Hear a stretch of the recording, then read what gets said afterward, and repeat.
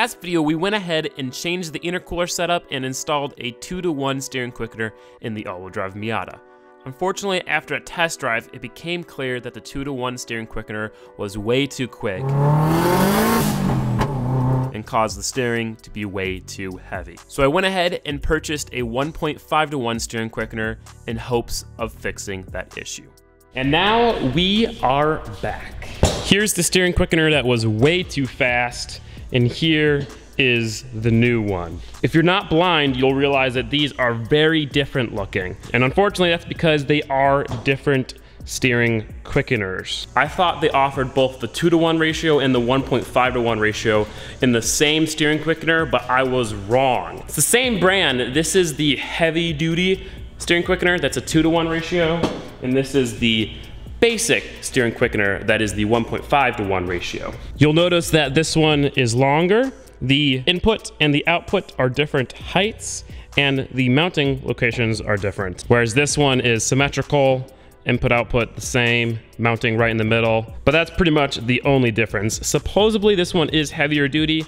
I don't really know what that means. This one actually feels much smoother, so I am excited about that. Unfortunately, since that steering quickener is new and very different, we have to redo everything. New mounts, gotta modify the steering shaft again, gotta paint everything again, but hopefully this one will feel better. Hopefully it'll be easier to steer since there's less leverage, and hopefully it won't be too quick. But it'll be quick enough. Either way, let's go ahead and get started. Also, don't forget on iuminventory.com, you can buy a shirt and get a free sticker or free air freshener with a purchase of any shirt. All you gotta do is head over to iuminventory.com, put a shirt in your checkout, and when you're checking out, in the special notes column, specify whether you want a free built sticker or a free air freshener. And if you want an air freshener, let me know which air freshener you want.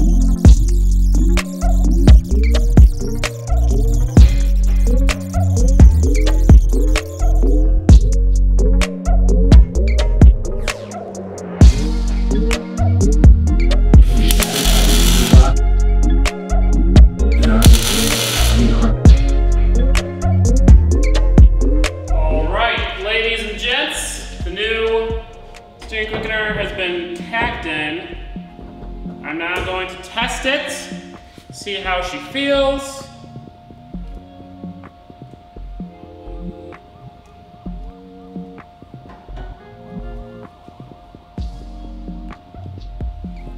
It definitely feels better. It feels less uh, less stiff for sure. It's a little smoother. Steering is still pretty quick. It's seeming like it's about 360 degrees from straight to full lock one direction. But as long as it's smooth and I can feel everything well, I think we're gonna stick with it. So I'm gonna go ahead, pull it all apart, fully weld it up, and hopefully we're good.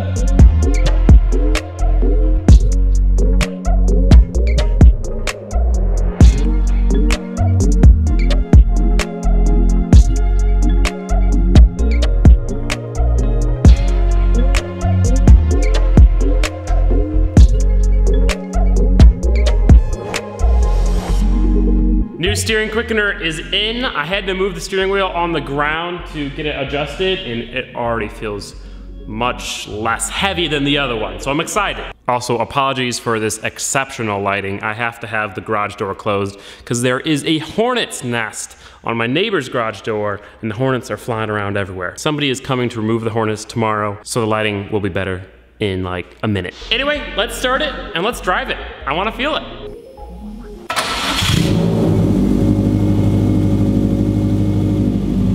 All right, I'm gonna drive around a little bit, let her warm up.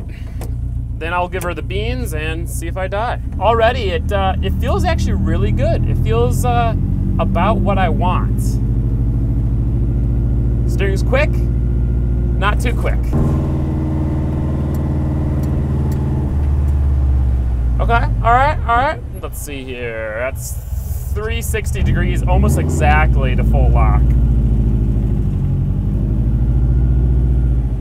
So it really isn't that much slower uh, than the other quickener.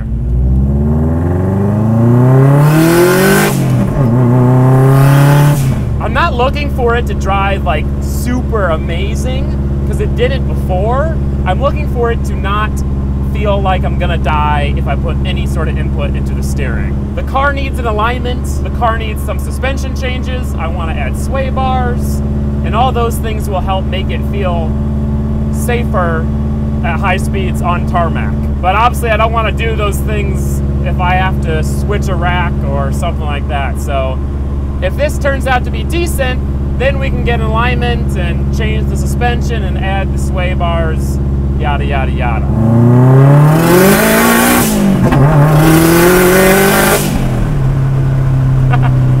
it's scary. It's scarier than it was without the quickener, but I did it and I didn't die. I think that's uh, acceptable.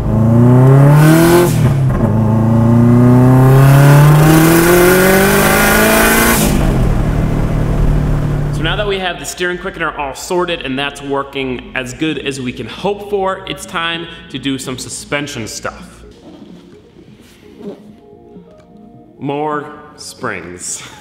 Originally, I wanted to get a pair of front WRX Rallycross coilovers, but they're really expensive and unfortunately no company wants to sponsor the car because it would only be using half of their product, which makes sense. So these are a set of standard height king springs for the WRX struts we have in the car. Right now it has a 1.5 inch lift spring in there. So installing these springs should lower the front by about an inch and a quarter. That will get a little bit of rake, so while we're in boost, it evens out instead of lifting up. Should make it a little bit easier to drive and should just make the car a little bit lower center of gravity. This is going to be like the fifth set of springs we tried because we had the Forester struts with the Forester springs and the Forester struts with the lowering springs, then the Forester struts with the standard springs, and then the WRX struts with the lift springs, and now the WRX struts with the standard springs.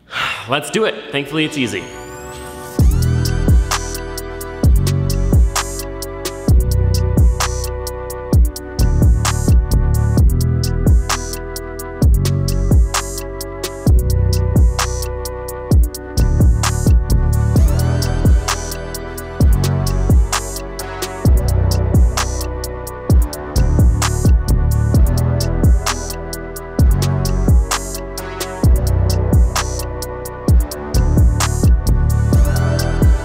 Here are our two springs. They're pretty much the same, just one's a little bit taller, one's got a little bit more preload. That's about it.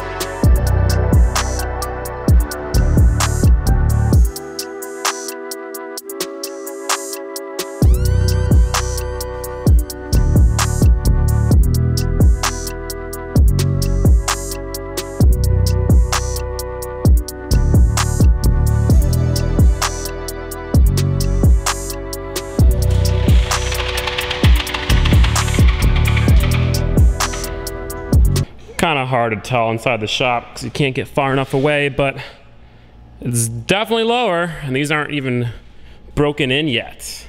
It definitely has some brake now as well. But I think that's, I think it's good. I think this is what we're gonna want, and we can always lower the back more to even out the rake a little bit. Coilovers would obviously be more ideal because you can really dial in the height, the preload, the spring rate, all that kind of stuff. But for the price that we've paid, it's pretty good. Although, to be honest, if I would have just bought coilovers, a front pair of coilovers in the beginning, I would have spent the same amount of money because I've had to go through two different springs. but oh well.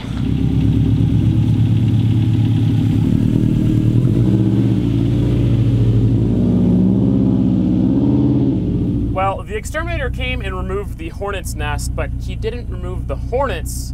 So now there are just a bunch of angry hornets flying around trying to figure out where the hell their nest went. So uh, the, the situation is actually worse than it originally was, but I'm assuming it will get better. First thing you notice, which I'm kind of surprised about, is the visibility is a lot better.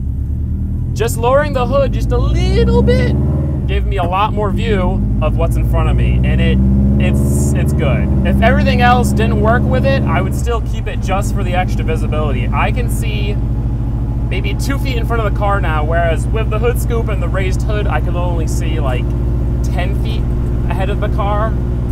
So this is awesome. Wow, you know what? Having the lower center of gravity up front uh, makes it feel less sketchy too. I know you guys probably, I'm sure some of you are a little upset that we're lowering the Rally Miata,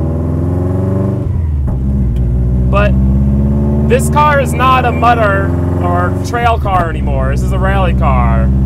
It's got too aggressive of an engine and all that kind of stuff to go mudding and trail off-roading. So we might as well try to make it do rallycross as good as it possibly can do. I'd love to actually get this car really dialed and be able to compete in rallycross and nationals and be able to win something in the future. Obviously, I'm not good enough for that now, but I'm excited. I, I'm excited for the new era of the Rally Miata. But man, this car has never felt this good. I can throw it around without being nervous. I can see, I've got quick steering.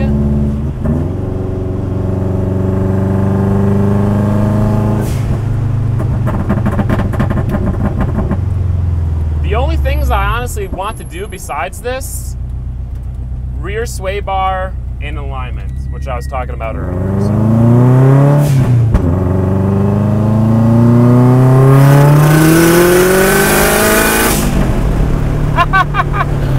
oh, that's so awesome!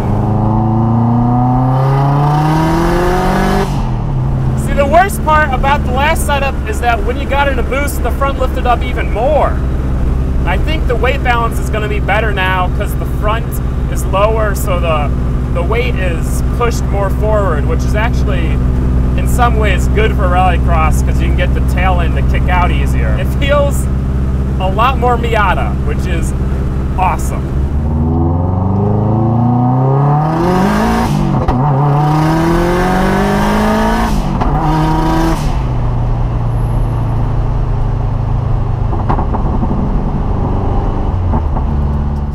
just so awesome. The car feels so much better to drive with the new springs and the steering. It's crazy. I really didn't think like the springs would make that much of a difference, but I've already talked about it. I already, I already talked about it. I'm just, I'm just so happy. I really love building cars. Like doing this project at the beginning, you know, doing all the big stuff was really fun but I love dialing in cars even more. For instance, when the drift truck was first finished, it sucked to drive. It had manual steering, which sucked. The suspension was crap, had leaf springs, had wheel hop, and when we kept doing stuff to it, and now it's freaking awesome. I love the drift truck. And this thing was better when we first finished it, because I've learned some things. Oh shit. I think I just saw one of the Hornets come in here. But yeah, with a few things we have done since this thing got finished, it's already driving so much better, and I can't wait to make it drive even better. Next up is definitely the rear sway bar and the alignment. If you guys have any other ideas that we should do before the next Rallycross event, September 13th, then let me know in the comment section below. But yeah. You know, I didn't think this would make too much of a difference, but Damn, that's gonna look sweet. But that's it, guys. In the next video, we are going to completely finish the exterior of the Datsun, as well as totally finish the dash, install the new gauges, paint the dash, get that all sorted, and get the heater in there. And of course, you can watch that video right now if you head over to Patreon.